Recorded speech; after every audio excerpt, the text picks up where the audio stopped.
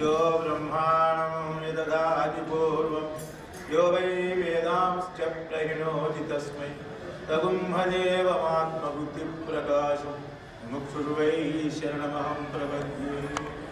शुष्कवेदान्तदन्ते शब्दसन्तापकेसरि। श्रीमान् मल्याळमौनीन्द्रो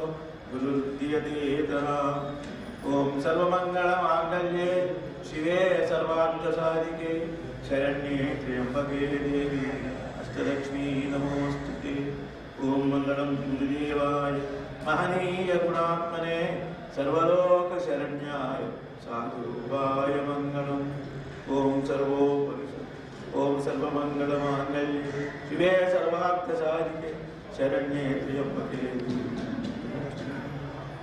ఓం సర్వోపప్లవరేత యజ్ఞానంద బ్రహ్మేవాహమస్ స్వాహం బ్రహ్మైవాహమస్మి స్వాహం బ్రహ్మవాహమస్మి ఓం నమో భగవతే శ్రీమలయాళయతీంద్రాయ మనసాస్మరం ఓం నమో భగవతే శ్రీమలయాళయతీంద్రాయ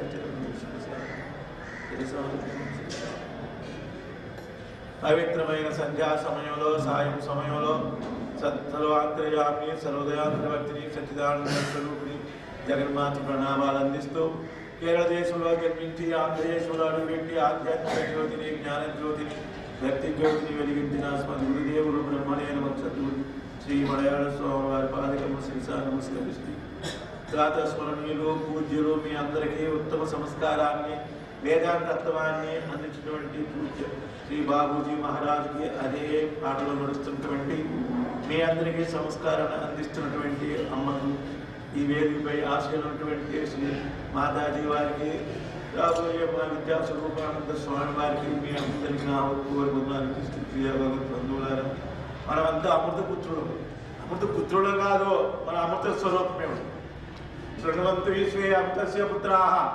మీరెవరో మా గురుదేవులు చెప్పేవారు మీరు మృతపుత్రుడు కాదు అమృతపుత్రుడు అనేవారు ఎందువల్ల మన లోపల ఉంది? అమృతం ఉంది.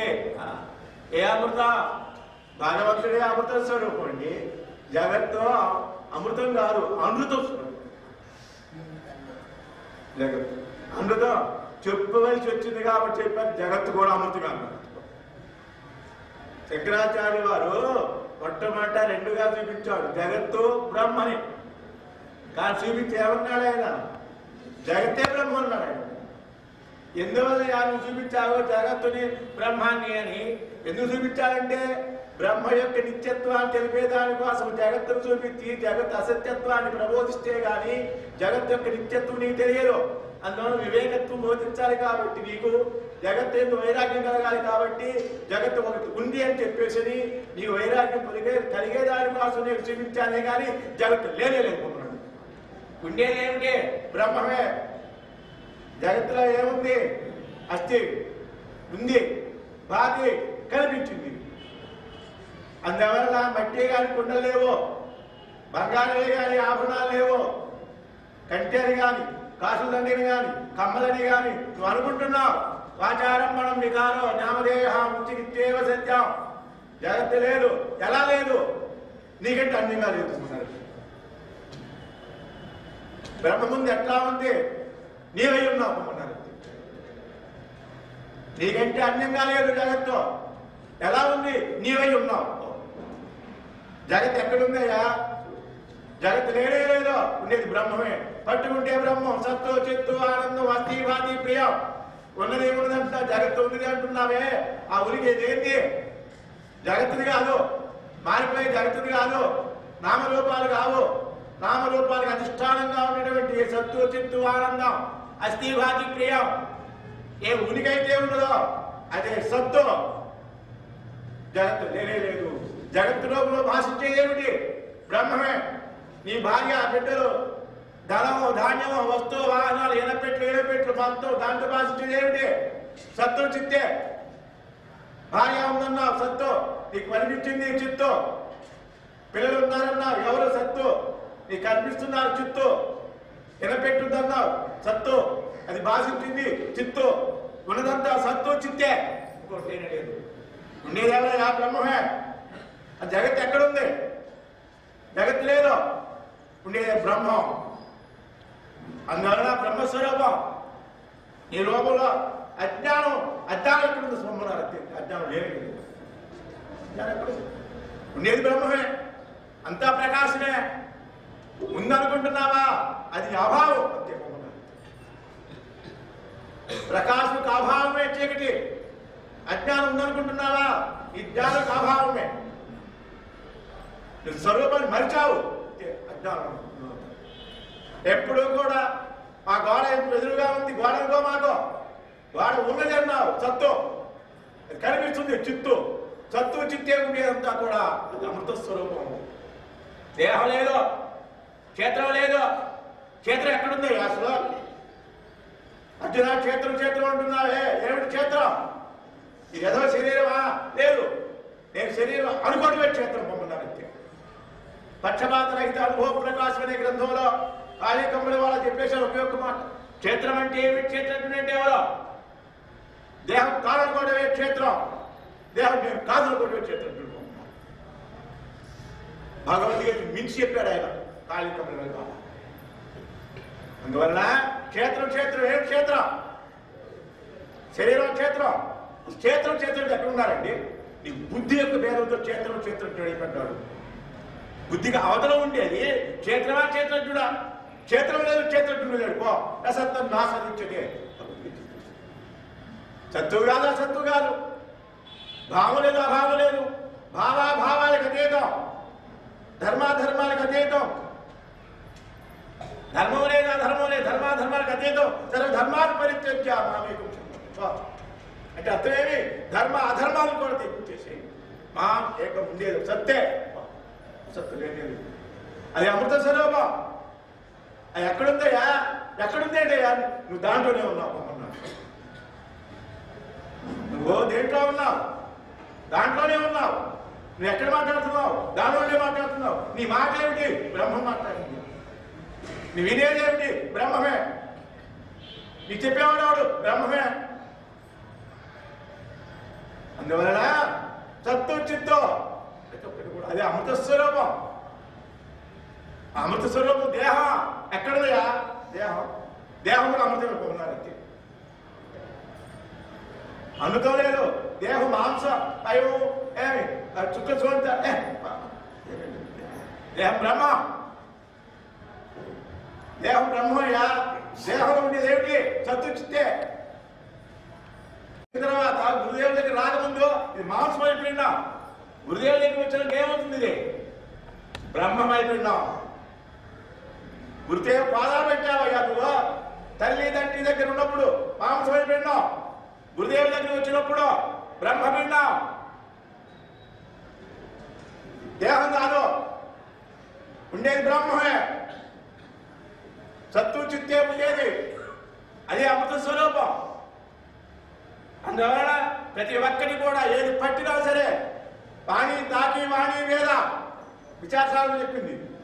ఏది ముట్టుకుంటావో అది బ్రహ్మమే ఏది మాట్లాడతావో అది బ్రహ్మమే ఏది చూస్తావో అది బ్రహ్మమే ఏది నడుస్తావో అది బ్రహ్మమే బ్రహ్మానికి కానొస్తే అక్కడ ఉంది బాబాయ్. నువ్వు బ్రహ్మమైపో అంతా బ్రహ్మమే అనిపిస్తుంది నువ్వు బ్రహ్మం కాకపోతే బ్రహ్మం అనిపిస్తాడు తాడే పాము ఎక్కడుంది? పాము అనుకున్నప్పుడు తాడే. పాము లేదు. ఎక్కడుంది పాము అసలు? తాడే ఉండేదంతా కూడా. ఉండే తాడే పాము లేదు. పాము లేదు. పాము అనుకున్నప్పుడు తాడే ఉంది. వెండి అనుకున్నప్పుడు కూడా ఉండేది ముత్యం చెప్పలే. ముత్యం చెప్పే కానీ వెండి లేదు. ఆకాశం నల్లగా ఖాళీయే. అందువల్ల ఉండేది ఏమిటి? అక్కడ దొంగ కాదు ఉండేది దొంగే. సినిమాకి వెళ్ళి వస్తూ ఉన్నాడు. ఒక సత్రం ముందుగా వెళ్తున్నాడు. సత్రంలో పది మంది దొంగలు వరుసలో నుంచున్నారు. అరే అరే, పది మంది దొంగలు ఉన్నారు భయం వేసి. చూస్తే దొంగలు కాదు పోడు కాదు. ఆ ఇంటి యొక్క స్తంభాలు వరుసగా ఉన్నాయి అంతే. దొంగలు ఉన్నారా? లేరు. అలాగే అజ్ఞానం దొంగ ఎక్కడ ఉన్నాడు? అజ్ఞానం ఎక్కడుంది సజ్ఞానం? ఉండేది జ్ఞానమే. జ్ఞానం ముద్ద ప్రపంచం జ్ఞానమే. జగత్ లేనే లేదు జగత్ ఏది? ఎలా లేదు? నాకంటే అందంగా లేదు జగత్తు ఉంది ఎలా ఉంది? నీవై ఉన్నావు. ఉండేదో బ్రహ్మవస్తువే కానీ దాన్ని తెలుసులేదాన్ని దాన్ని మనం అడ్డుచ్చిపడింది అది తెలియకుండా చేస్తుంది. అజ్ఞానం కాదు నీ మనసే. నీ మనసు దాన్ని తెలియకుండా చేసేస్తుంది. ఏమిటా మనస్సు ఆత్మకారాకాంతమైన వృత్తి. అది నీ ఆ బ్రహ్మతత్వాన్ని తెలియకుండా చేస్తుంది. పొందడం కాదు. పొందడమే నాన్ సెన్స్ నీకంటే వేరుగా ఉంటే కదా పొందేదా నీకంటే అన్యంగా ఉంటే కదా పొందేదా నీకంటే వేరుగా లేదు. నీకంటే అన్యంగా లేదు. అది వస్తువు కాదు. అరేమిటి నీవే. నీ మనసు వచ్చి పడింది ఇక్కడ. అడ్డం. ఆ వృత్తి వచ్చేసింది. ఆ వృత్తి ఏదైంది? అదే రెండు రకాలు. ఒకటో అలాకార అనాత్మకారాకాంతి వృత్తి. వాడి బ్రహ్మకారాకాంతి వృత్తి. బ్రహ్మకారాకాంతి వృత్తి వల్ల నీకో మోక్షం కలుగుతుంది. మన ఏవ మనుష్యాణం కారణం బంధమోక్షయో బంధాయ విషయాసక్తం ముక్తే విషయం శుధం నరులకు బంధము మోక్షమునకు కారణము మనస్సేయని కనుమా పరమ బంధమది విషయాసక్తము మోక్షము విషయరహితము సుమా భజ గురు రామం భజ గురు రామం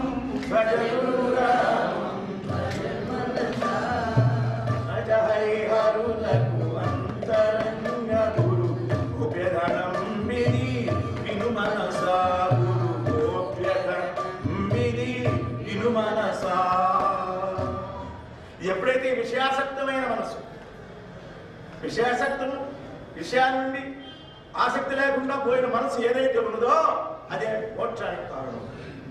అయితే ఈ విషయాన్ని ఆసక్తి లేకుండా ఎప్పుడు పోతుంది? మనకి ఈ విషయానికి ఆసక్తి లేకుండా బాగుంటుండే పోతుందా? ఎలా పోతుంది? ఈ విషయాలు విషమని గ్రహించు అప్పుడు పోతుంది. ఈ భోగాలు భవరోగ చెప్పేశాడు భోగా భోగనహే భవరోగ. కృష్ణదాస్ భోగా భోగనహే భవరోగ.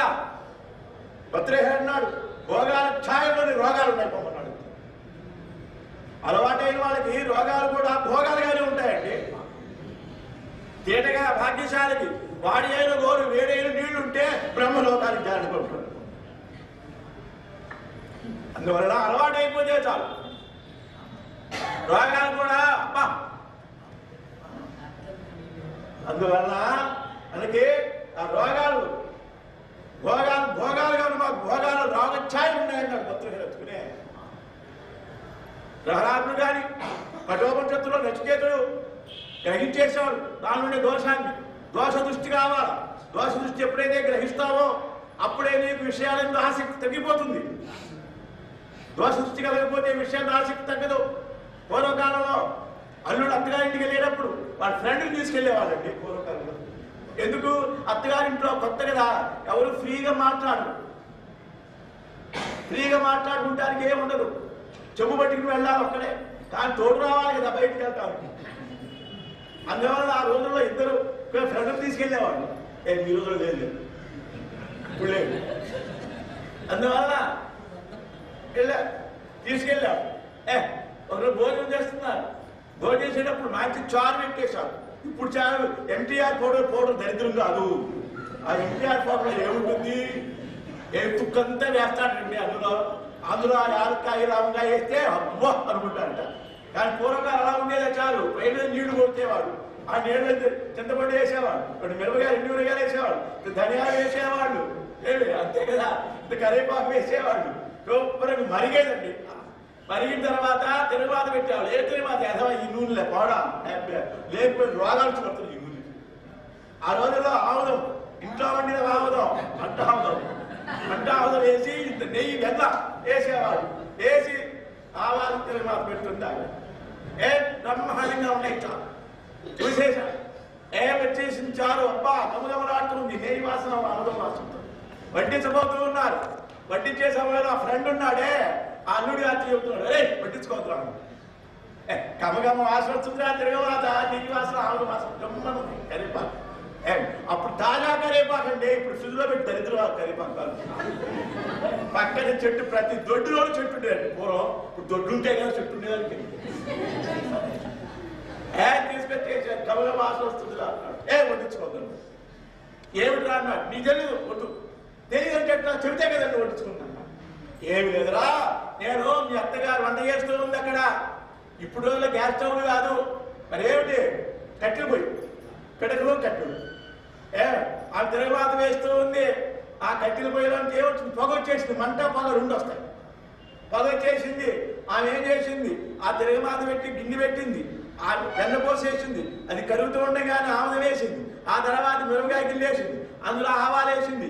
ఆమె అనుకుంది ఆవాలు మాడిపోకుండా జీలకర్ర వేయాలి ఇంకా వేయాలనుకుంది ఒక్కసారి తొంగి చూసింది. తొంగినప్పుడు ఈ పొగకి ఆమెకి చీవుడు వచ్చేసింది. ఆ చీవుడికి ఆ పొగలు పడుతుంది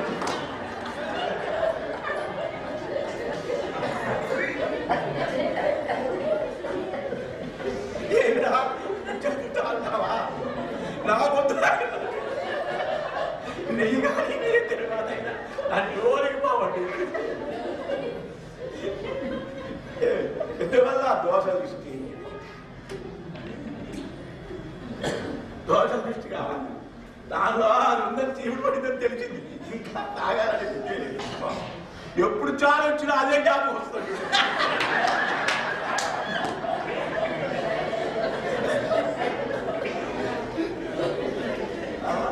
ఎప్పుడు అదే జ్ఞాపకం మనకి మంచి జ్ఞాపకం రావు చెడ్డ జ్ఞాపకం వస్తాడు మన మనసు అలవాటు మన మనసు చెడునే చూస్తుంది మంచిని చూడదు. ఆ, నా గురుదేవుడు చెప్పేవాళ్ళండి. ఎప్పుడు చెప్పాను మంచినే చూడాలి చెడు చూడాలి. క్రీస్తులో ఆ స్వభావం ఉంది పండ మీద బోధని ఉన్నాయి. నేను చదివా. మా గురుదేవుడు చదివించాను పండ మీద బోధనలు చెప్పాను జిస్ క్రీస్తు ఆయన పరివారం శిష్యులు వెళ్తున్నారు.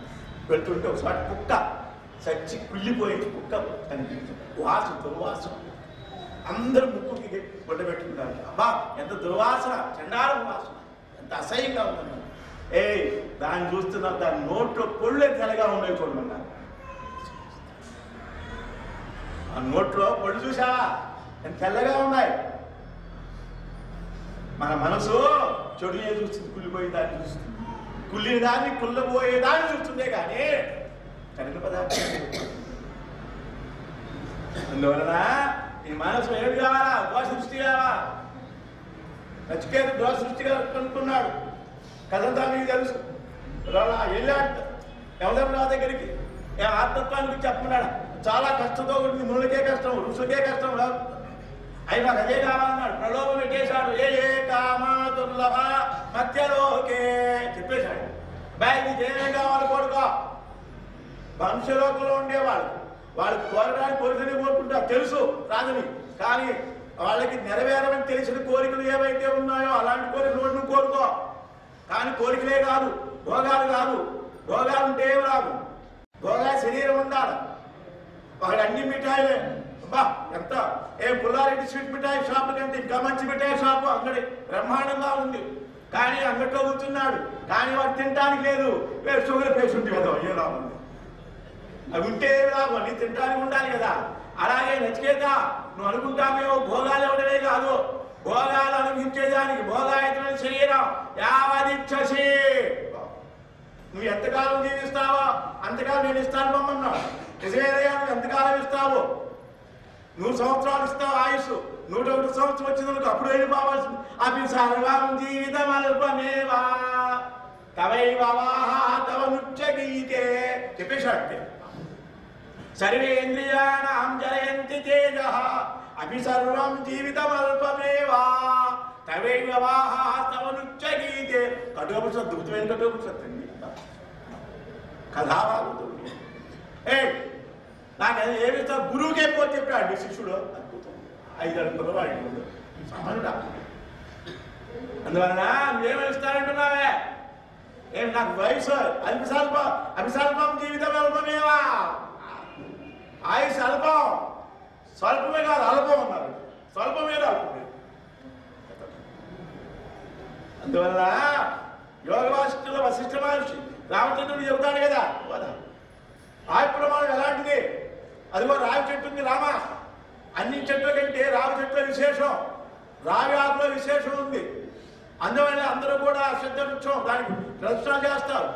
ఆ ఆకున్నదే చిట్ట చివరి పమ కొస తేలి ఉంటుంది. అంత కొస ఆకు ఏ ఆకు ఉండదు.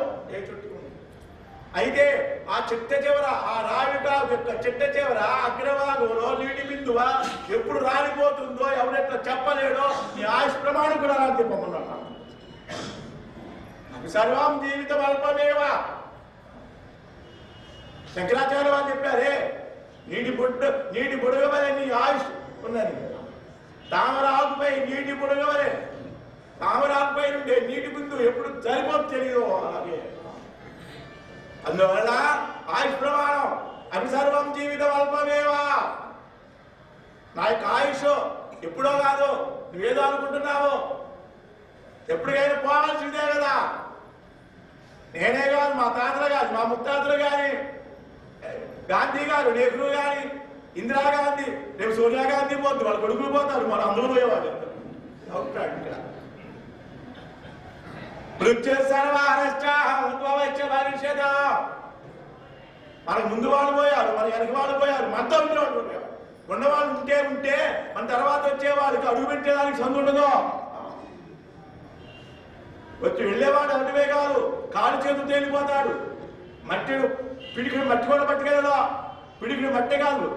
సగం పిడికిడైనా మట్టి పట్టుకెళ్తే మన మన ముందు వాళ్ళు పట్టుకెళ్తే మనకు నుంచుంటానికి స్థలం ఉండేది కదండి. అందువల్ల మృత్యు సర్వారశ్చాహం ఉద్భవచ్చ భవిష్యత అందరూ కూడా వెళ్ళిపోవాల్సిందే ఎంతటి వాడైనా సరే ఎంత విరమీకి వాడైనా సరే. మృత్యుదేవ దగ్గరికి వెళ్ళాల్సిందే నీ మట్టిలో కలవాల్సిందే. అందువల్ల అయ్యా నువ్వు అంటున్నా అల్పసర్వ అభిసర్వామ జీవితం అల్పమేవా. నా యొక్క అల్పమైంది స్వల్పమైన జీవితం. వాళ్ళే భోగాలు అల్పమైంది సరే స్వల్పమైంది సరే క్షణం ఉన్నా సరే నేను భోగాలు అనిపిస్తాను అంటున్నావేమో. నేను భోగాలు అనిపించడం లేదు. భోగాలు వచ్చిన అనిపిస్తున్నాయి పొమ్మన్నాడు ఇట్లా ఎంత మాట ఉంది వజ్ర కొనక అంతేగానయ్యా ధర్మరాజా ఓ గురుదేవా ఆ భోగాలు నన్ను నేను అనిపించట్లా జనమైన భోగాలు నన్ను అనిపించేస్తున్నాయి అనిపించేది నా పర్వాలేదు కానీ వెళ్ళే ఊరికే పిలిచి అట్లా కదా ఏం చేస్తున్నాయి అవి సర్వేంద్రియాణం జలయంతి తేజ. నాలో ఉండే ఓజస్సు తేజస్సులో లాక్కుని వెళ్ళిపోతున్నాయి. టీవీలు వచ్చి వచ్చి వచ్చి ఏం చేసినాయి? పూర్వకాలంలో ఇంత కంటి హాస్పిటల్ లేవు. జనాలు ఒకటే ఉండేది. తెలంగాణకి ఆంధ్ర భక్తులకి ఎక్కడెక్కడ వాళ్ళు వచ్చి జనాలు డాక్టర్ కంప్యూటర్ హాస్పిటల్ ఒకటే ఉండేదండి. ఎక్కడ? ఆయనే హైదరాబాద్ బ్రాంచ్ పెట్టాడు. ఈనాడో వీధి ఒకటి కంటి హాస్పిటల్ మధ్య ఎన్నో వచ్చినాయి. టీవీ చూస్తున్నా అనుకుంటున్నావు టీవీ నువ్వు చూడలా అవి వచ్చేసి నీ కంట్లో ఉండే నరాలు వాటిలో ఉండేట్టు తేజస్సు బలం దక్కిపోతున్నాయి ఎందువలన? సైంటిస్టులు చెబుతుంటారు నీ కంటికి నరాలు ఉంటాయి. దానికి ఎంతవరకు అయితే ఫోన్ ఉంటుందో అంతే చూడాలా. అంతకంటే ఎక్కువ చూసినట్లయితే ఏమైపోతుంది? లోపల ఉండేటువంటి ఆ నాడులో ఉండేటువంటి శక్తి తగ్గిపోతూ క్షీణించిపోతుంది పాపం అందువల్ల ఈనాడు సెల్ ఫోన్లు వచ్చేసినాయి. చెప్పారే రేడియో టీవీలో చెబుతున్నారు ఎవరో చెప్పారు నేను చూస్తున్న టీవీలు. తీసిపారేసాను వాళ్ళు అన్నారు ఈ టీవీకి ఈ సెల్ ఫోన్లు కొంతమందికి బ్రెయిన్ ఎఫెక్ట్ అవుతున్నాయి అన్నారు మీరే చూడండి మూడు గంటల సేపు మీరు ఆ సెల్ ఫోన్ మాట్లాడుతూ ఉండండి తర్వాత మీకే తెలుస్తుంది ఏమవుతుందో. మరి చేయండి మీరే. అందువల్ల అవి కాదు నువ్వు అనుభవించడంలా అవి అనుభవిస్తున్నాయి. అనుభవించి ఊరికే పోవడంలా. నువ్వు డబ్బులు ఇచ్చి కొనుక్కుని దరిద్రం అవి నిన్ను నిన్ను లాక్కెళ్ళిపోతాయి. సర్వేంద్రియాణం జరయంతి చేత. అందువల్ల ఆ దోష సృష్టి కలిగింది ఎవరికి? నచ్చికేతుడికి అప్పుడు చెప్పేశాడు తమ ఇవవాహ తమ నృత్యగీతే నాకు వద్దు బావ పోగారు కాలి తండ్రి పారుశాడు విషయ విషయాలంత ఆసక్తి తగ్గిపోయింది అందరూ విషయాలంత ఆసక్తి తగ్గాలంటే ఏం చేయాలా? దోష సృష్టి కలగాలా? ఆ దోష సృష్టి ఉన్నంత వరకు నీకు విషయాలతో ఆసక్తి తగ్గదు. నీ మనసు విషయాల పరిగెత్తుతూ ఉంటుంది. అందువల్ల అలాంటి ఏ మనసు అయితే ఉన్నదో అది నీకు ఏమవుతుంది బంధానికి కారణం అవుతుంది సంవత్సరాల్లో పడివేస్తుంది అలాంటి ఆ విషయాసక్తి లేని మనసు ఉన్నదే అయిన నిరుషయం సుతం. అదే నీకున్నది ఏమవుతుంది ముక్తి కలుగేస్తూ ఉంది.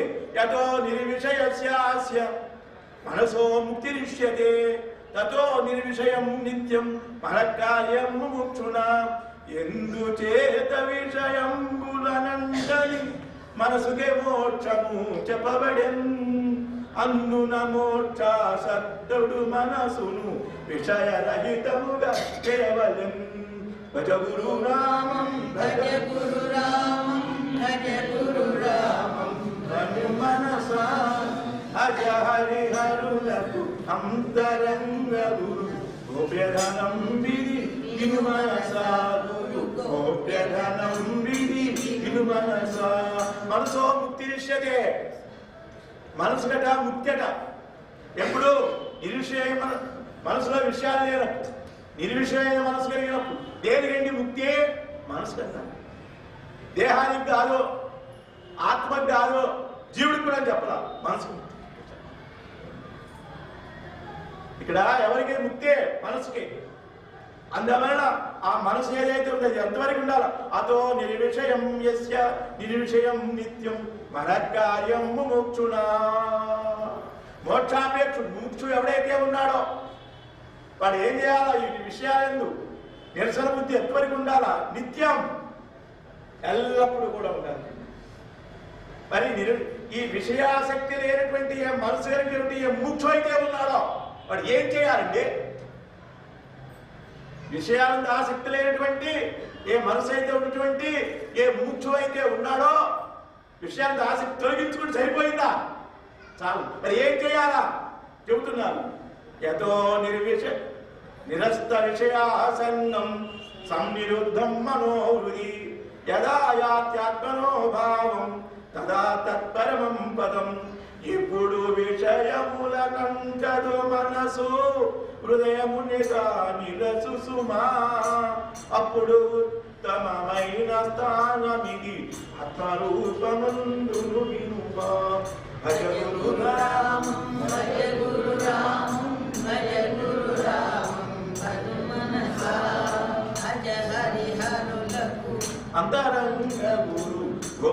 గోప్యధనం మనస గురు గోప్యధనం విని మనస ఈ విషయాలందు ఆసక్తి లేని మనసు ఏదైతే ఉన్నదో దాన్ని ఏం చేయాలి? సంనిరుద్ధం మనోహృది. మనసుని ఎక్కడ పెట్టాలా? హృదయంలో పెట్టాలి సంనిరుద్ధం తొలగి పెట్టాలా ఇది బాగా అంతవరకు చేసి చనిపోతుందా? చాలా మరి ఏం కావాలా? కదా యాత్యాత్మనో భావం నీ మనసును తీసుకువెళ్ళి హృదయం మీద పెడితే లాభం లేదు. చాలా మంది ఇప్పుడు యోగం చేస్తున్నారు. చాలా మంది ధ్యానం ధ్యానం అంటున్నారు. కానీ ఊరికినే మనసు తీసుకెళ్ళి ఆ శ్వాస మీదో లేదా హృదయం మీదో లేదు భ్రూమంచు స్థానం ఉందో పెట్టుకుని ఉంటే సరిపోదు. వీళ్ళు ఇదే చెబుతుంటారు. నీ శ్వాస మీద చెప్పి మనసు పెట్టుకో. ఇదే ధ్యానం. కానీ శ్వాస మీద మనసు పెట్టుకుంటే ఏమవుతుంది? శ్వాస ఏమిటి? ప్రాణం. ప్రాణం ఏమిటి? జడం. దాని మీద దృష్టి పెట్టుకుంటే నువ్వేమవుతావు? నువ్వు జడు అయిపోతావు అంతే. మరి ఏం కావాలా? అలాగే ధ్యానం ధ్యానం అంటే ఏమిటి? భావం కావాలా? యదా ఆధ్యాత్మలో భావం. భావం కావాలా? భావం. అక్కడ చెబుతారు ఎట్లా పెట్టుకోవాలా? దాని భావం. భావాత్మకంగా ధ్యానం చేయాలి కానీ భావం లేకుండా చేస్తే ఏం నీకు నిద్ర అయిపోతుంది నిద్రలో ఏ భావం లేదు మనసు హృదయంలో ఉంది. మనసు హృదయంలోనే ఉంటుంది ఎక్కడే బాగా మనసు. ఎక్కడికన్నా పోతే లేవగానే ఎట్టు వచ్చేసిందండి జేబులో పాముల తేలో ఉంది.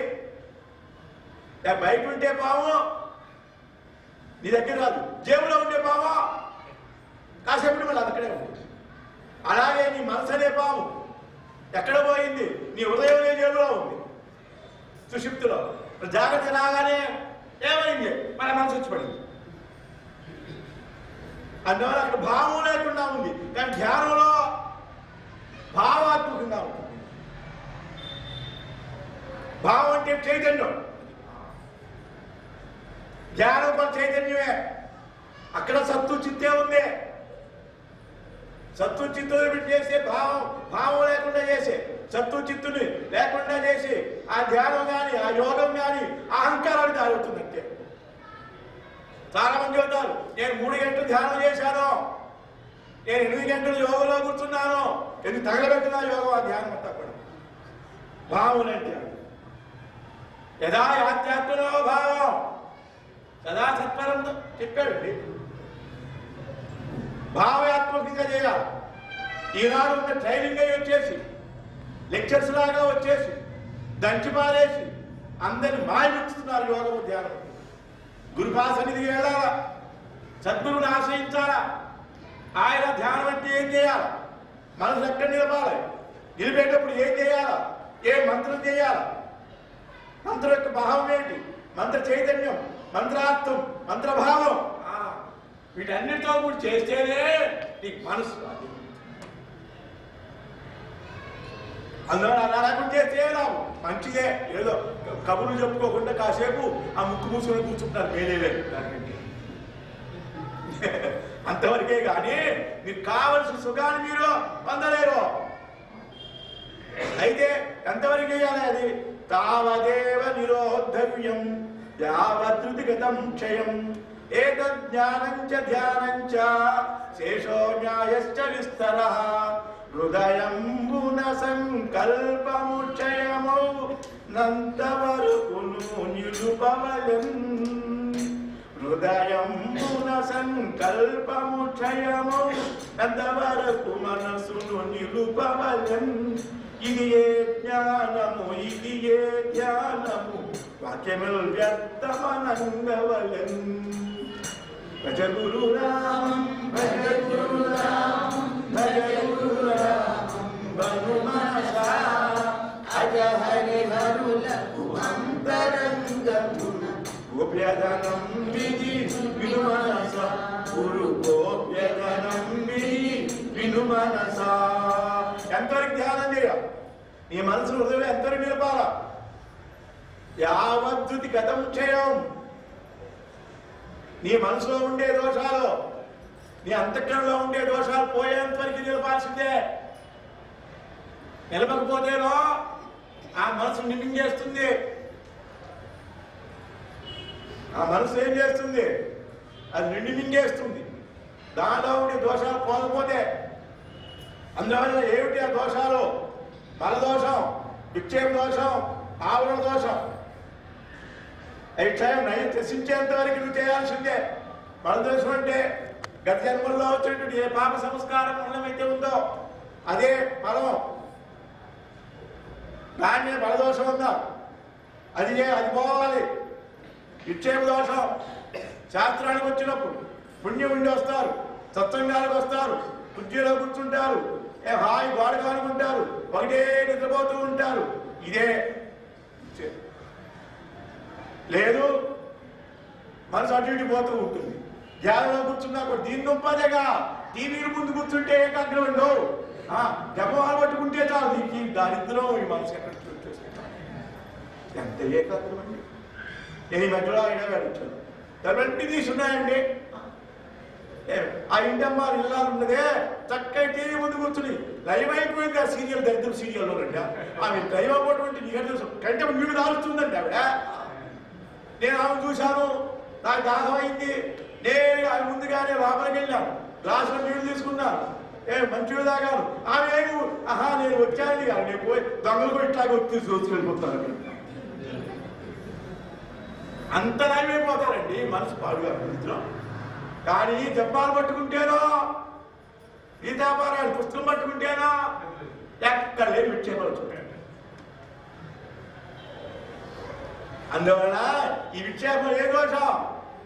ఇదే విక్షేప దోషం. మనసు ఎడవ ఆవరణ దోషం. నీ స్వరూపం తెలియకుండా చేసి ఇవి ఉన్నంత వరకు నువ్వు ధ్యానం చేయి. నువ్వు అవి ఉన్నంత వరకు ధ్యానం చేయాల్సిందే. ఏదో జ్ఞానం చ ధ్యానం చ న్యాయశ్చ విస్తర. అక్కడ చేయాల్సిందే అండి ధ్యానం ధ్యానం అంటే అర్థం ఏమిటి? మనం చేసే ధ్యానాలు కావు. మనం అనుకుంటున్నాం. నేను ధ్యానం చేస్తున్నా అనుకుంటున్నాం మనం. మనం చేసే ధ్యానం కాదు. ధ్యానం నిర్విషయం మనహ. ధ్యానం అంటే నీ మనసులో ఉండి విషయాలు లేకుండా ఎప్పుడు స్తంభించిపోతుందో అదే నిజమైనటువంటి ధ్యానం. మా గురువుగా గారు ఉన్నప్పుడు ఎవరిని పిలవాలంటే నన్నే పిలిచి సాయంత్రం ఆ ఐదున్నర ఐదు బోధ అయిపోయేటప్పుడు.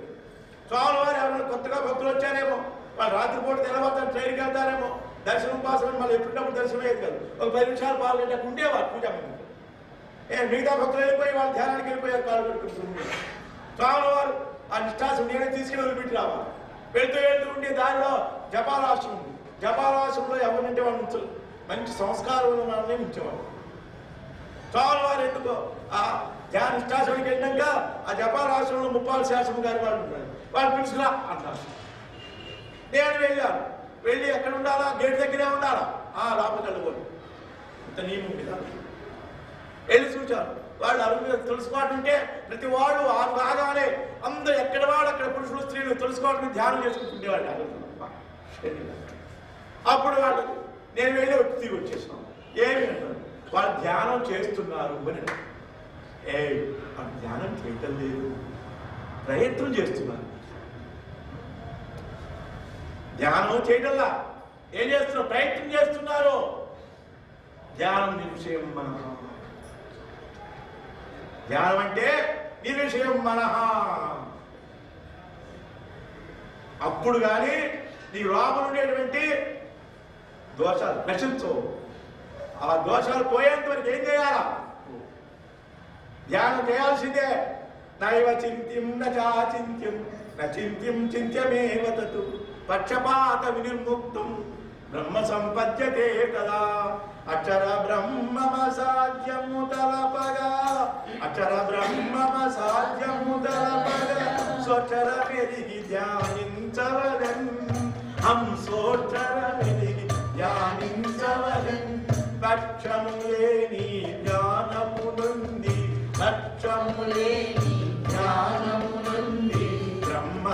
पदे च वयं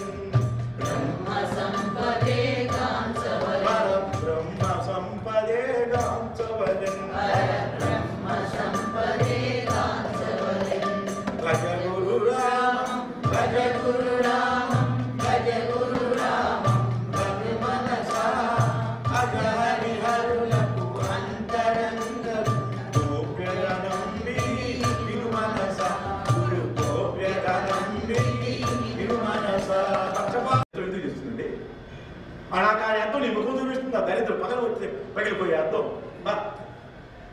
చూపించదు? నీ నేత్రమే. వెళ్ళింది. ఏమిటి? కిరణాలు వెళ్ళి. అక్కడ ఏమేమి చెల్లింది అర్థం అన్ని అర్థాలు నీ ముఖాన్ని చూపించలేవో. ఆహా. అవతల దాన్ని చూపిస్తానండి రాత్రి అమ్మగారు వెళ్ళాం వెళితే అర్థం. ఆరు చూసా చూసాం. బాత్రూమ్కి వెళ్ళి చూసాం. బాత్రూమ్కి వెళ్ళి తిరిగాను లేదో మళ్ళీ ఇంకో రూమ్ కనిపించింది ఇటుకెళ్ళే.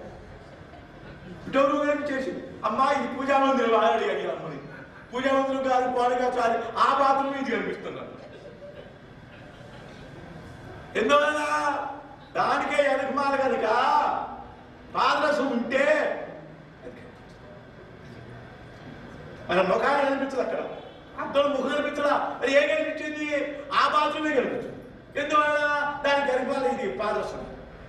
పాదరసం ఉంటే మన ముఖం కనిపించింది మరి ఎందువల్ల నీ పాదరసం ఏదైతే ఉన్నదో నీ యొక్క వృత్తి ఏదైతే ఉన్నదో నేత్ర వృత్తి అక్కడికి వెళ్ళి ఆ పాదరసం వెనక్కి పాలేయకుండా మన వెనక్కి వచ్చేసిందండి వెనక్కి వచ్చేసి ఏమొచ్చింది ఇప్పుడు? నీ వృత్తే నీ ముఖాన్ని చూసుకుంటుంది నీ వృత్తే నీ ముఖాన్ని చూపించేస్తుంది అలాగే బ్రహ్మాకారాకార వృత్తి ఏం చేసింది. బ్రహ్మాన్ని చూపించింది. బ్రహ్మాకార వృత్తే అంతేగాని నిశ్చిత్తం చిత్తం జడం. అదేం చూపిస్తుంది? చిత్తం చైతన్యాన్ని పట్టుకుంటుందా? అచింత్యం. చింతించలేదు శంకర్లో చెప్పారు. జడం చైతన్యాన్ని పట్టుకోలేదు చైతన్యం ఆధారంతో జడం బతుకుంది. బతుకంతా నీ చేతిలో గొడ్డలి బతుకంతా నీ చేయి మీద ఆధారపడుతుందండి ఉందండి. జడం చేయి చైతన్యం. నీ గొడ్డలి చైతన్యమైన చేతిని గొడ్డలు పట్టుకుంటుంది కానీ గొడ్డల్ని చేయి పట్టుకుంటుంది కానీ గొడ్డలు చేతులు పట్టుకోలేదండి. కత్తిలో ఉన్నది నీ చేతిలో కత్తిలో ఉన్నది ఆ కత్తిని ఎదుటిదాన్ని కత్తిరిస్తుంది. ఆ కత్తిని పట్టుకుని చేతి కత్తిరించలేదండి. నువ్వు చేతిలో గొడ్డలు పట్టుకున్నావు. ఆ గొడ్డ ఎదుటిగా ఉండేదాన్ని నరికిస్తుంది. కానీ తాను పట్టుకుని చేతి నరకలేదు ఆ గొడ్డలి. ఎందుకు అది జడం ఇదో చైతన్యం జడాన్ని జడానికి బతికిచ్చిందే చైతన్యం అందువల్ల ఈ జడమైనటువంటి చిత్తము చైతన్య చిత్తాన్ని ఎట్లా చింతిస్తుందయ్యా చింతించలేదు అయితే శంకరవరం స్వామి మరి ఏం చేయాలి చింతించడానికి అలివి కాని వాడి రాడు చింతిస్తున్నాడు ధ్యానానికి అందదు. ధ్యానానికి అందని వాడి రాంటి ధ్యానం యాత్ర చేసినప్పుడు యాత్రకి అందేవాడి కాదు రాంటి యాత్ర చేయి. రహస్యాలు. ఇదే చాలా అందువలన ధ్యానం చేయి. ఎట్లా చేయాలా? ధ్యానానికి అందేవాడి కాదు అని భావన చేస్తుంది. ఇంకా శంకరుడు సిద్ధాంతం. అందుకని అందరూ మన వాళ్ళే ఇక్కడ మన ఆశ్రమం వాళ్ళే. అందరూ ఉన్నారు కాబట్టి అందరూ చెప్తున్నాం తినాలి చెప్తాం మేము అది కాదు అందువలన అచింత్యం. చింతించడానికి వీలు లేదు. అందులో అవ్యక్తం అని అన్నారండి. వ్యక్తమైన దాన్ని అయితే నీకు కల్పించేదాన్ని అయితే దృశ్యమైన దాన్ని అయితే నీకంటే అన్యంగా ఉండేదాన్ని అయితే నువ్వు చింతించవచ్చు కానీ అది దృశ్యం కాదు అది దృప్పు అది వ్యక్తం కాదు అది అవ్యక్తము అది నిర్దేశపడేదాన్ని లేదు. జాతి గుణ క్రియ సంబంధం ఈ నాలుగు ఉండేదాన్ని నిర్దేశించవచ్చు. జాతి కాదు గుణం లేదు క్రియ లేదు సంబంధం లేదు. జాతి లేదు కాబట్టి గుణం లేదు గుణం లేదు కాబట్టి క్రియ లేదు క్రియ లేదు కాబట్టి సంబంధం లేదు. సంబంధం లేదు నాలుగు లేవు కాబట్టి అది అచింత్యం పరబ్రహ్మ ఏ జాతిదే శరీరానికి జాతి. ఏ జాతి అంటే శరీర భావం ఉన్నప్పుడు ఈ జాతి వచ్చేసింది. శరీర భావం యొక్క జాతి. ఇద్దరులో ఏ జాతి నువ్వు? చెప్పగలుగుతావా శరీరం యశాన్నం యస్యాన్నం నాది మధ్యం నైగర్జనం నామగోత్రుల సూత్రం. నో జాతి నభవతి పురుషో నో నపుంసో శాస్త్రే నాకారం నో వికారం నహిని మరణం నాస్తి పుణ్యం నా పాపం నో తత్వం తత్వమేకం సహజ సరసం సద్గురుం తన్మమం అది నీ స్వరూపం అదే. అందువలన ఈ స్వరూపం ఎలాంటిది? అందువలన అది వచ్చి అది అవ్యక్తం. జాతి గుణ క్రియ సంబంధాలు లేదన్నమాట దాన్ని చింతించడానికి వీల్లేదు. ఒకవేళ చింతించే చిత్తము వృత్తి వచ్చిందంటే అది ఎవరి వృత్తి? బ్రహ్మ. జ్ఞాన స్వరూపమైన వృత్తి. జ్ఞానం ఈ అంశమ్మ ఎవరిదే? చైతన్యాన్ని అందువలన జ్ఞానం చైతన్యం అన్నది ఏ వృత్తి నీకు? బ్రహ్మాకారాకారమైన వృత్తి నిన్ను అజ్ఞానం తోల్చి మానేసి బ్రహ్మాకారం చేసేస్తుందండి అందువల్ల మీరంతా ఎవరో బ్రహ్మాకార వృత్తిలో ఉన్నారు మీరంతా కూడా. మీరు ఇప్పుడు శ్రమంలో లేరు మరణంలో లేరు మీ నిధిధ్యాసలోనే ఉన్నారు. ఆలోచించుకోండి. మీరంతా నిధిధ్యాసలో ఉన్నారు. ఆ లెవెల్లో ఉన్నారు మీరు. ఆ లెవెల్ దాటి మాకు దిగిరామాకండి మీరు.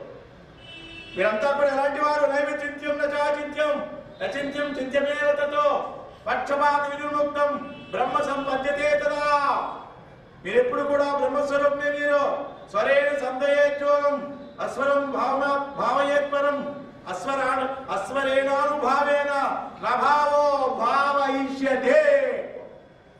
యోగమున నదము చేర్చి బ్రహ్మమును నదరహితముగా తలపవనన్ యోగికి నాదారహితము చే బ్రహ్మము కలదు లేకపోదలగవలన్. భజ గురు రామం భజ గురు రామం భజ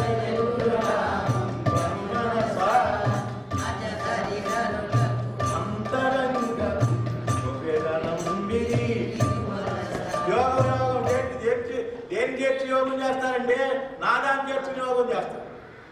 నాద బ్రహ్మం కానీ అది అంతటితో ఆగిపోతే లాభం లేదు. ఆ యోగం వల్ల మీకు సిద్ధులు కలగచ్చు. అసలైన సిద్ధి ఏమిటి అసలైన సిద్ధి? జన్మ జన్మల వెంట వచ్చే సిద్ధి జ్ఞాన సిద్ధి అది మరుగుడిపోతుంది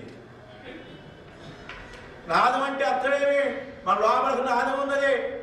మన లోపలే కాదు బయట ఉన్నది. అదే ప్రణవనాదం అందుకే షణ్ముఖి ముద్ర ఏదైతే ఉన్నదో అది పెడితే మీకు తెలుస్తుంది. గురువులు చెప్తూ ఉంటారు ముందు. బ్రహ్మాన్ని పట్టుకునేదానికి ఒక ఉపాయం చెబుతారు.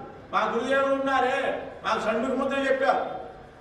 సాయం సమయంలో నేను తీసుకెళ్ళి సోమ ఉరిపెట్టి వచ్చేవాడిని.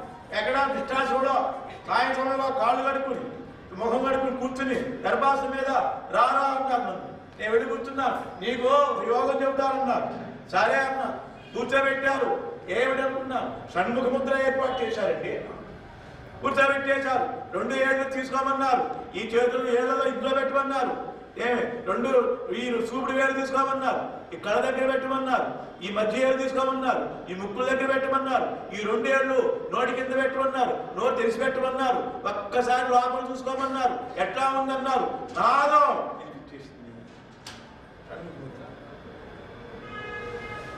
చెప్పేశారు ఏ ఈ నాదాన్ని చూస్తూ ఉండవు ఇదే యోగా అని చెబుతారు కొంతమంది కానీ అంతటితో ఆగిపోకూడదు. ఆ నాదం నీకు వినిపించింది కదా. ఆ ఎన్నవాడెవడు ఆ నాదం విన్నవాడెవడు? నాదమే బ్రహ్మమురా అని పాడేవాడు పూర్వం కొంతమంది. కానీ మన గురుదేవుడు ఏం చెప్పారు నాదం బ్రహ్మం చెప్పారు ఎవడు? నాదాన్ని తెలుసుకునేవాడు బ్రహ్మ. నాదం చెప్పాడు ఎవడో? నీవెవరో? సత్తు చిత్తు జ్ఞానం. జ్ఞానం ముద్ద నువ్వు అంతే. శంకరాచార్య వారు చెప్పారండి జ్ఞానం ముద్ద అన్నాడు ఆయన. మహాబుద్ధుగా పాపం ఆ, కసిగా చెప్పేశాడు జ్ఞానం ముద్ద మాంసముద్రలో కాదు మీరు. ఆహా జ్ఞాన ముద్దలో. ఇది మాంసం కాదు. మాంసం అనుకుంటే మాంసం. జ్ఞానం అనుకుంటే జ్ఞానం బంగారు ముద్ద. కమ్మలో కాసు లేదు. ఉండేది బంగారు ముద్దే. అలాగే భార్య పిల్లలు ఇల్లు వాకి వాటి తట్ట పుట్ట లేదు. ఉండేది ఏమిటి? జ్ఞానం. అందువల్ల ఆ జ్ఞానమే నీవు కానీ నాలుగు నువ్వు కాదు పో. అందువల్ల ఆ నాదం ఎంతవరకు అంటే నీకు కొంతవరకు ఉపయోగిస్తుందండి? అందువల్ల ఆ నాదం కూడా అస్వర అస్వరేణ అనుభావేన నభావో భావయిష్యతే. అది భావం కాదు? భావం కాదు. నాదం కాదు ఆ భావం కాదు అభావం ఎందుకు భావం అన్నారు? అభావం ఉందనుకున్నావు కాబట్టి భావం అన్నారు. జగత్తు ఉందనుకున్నావు కాబట్టి బ్రహ్మం అన్నారు. జగ అసలు ఉన్నదే బ్రహ్మం. జగత్ ఎక్కడ ఉంది? ఉన్నదే బ్రహ్మం. జగత్తుకి ఆస్కారం లేదు.